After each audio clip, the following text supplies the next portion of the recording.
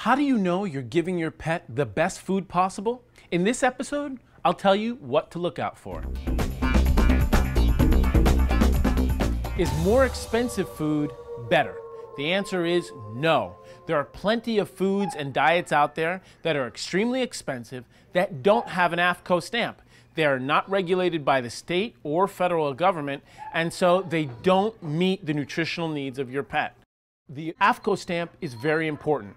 It stands for the American Association of Feed Control Officials. Sometimes the more you spend on a food, that means higher quality ingredients, but again, that is certainly not the case across the board, and you can't just make a blanket statement that if I spend a lot of money on a food, I know I'm getting good quality ingredients.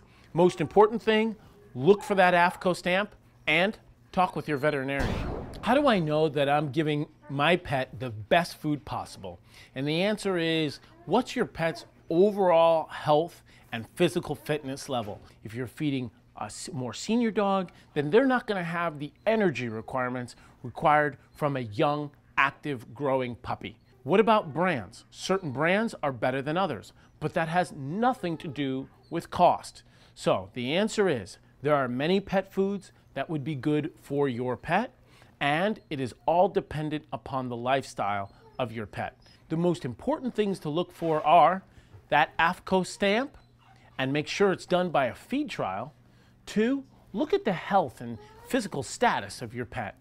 If they're doing well, you're probably doing great by them as far as nutrition is concerned. And three, talk with your veterinarian because they may have some recommendations that are specific to the lifestyle of your pet.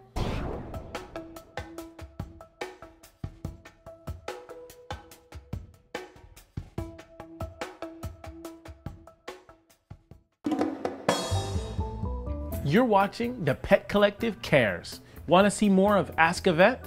Then don't forget to subscribe.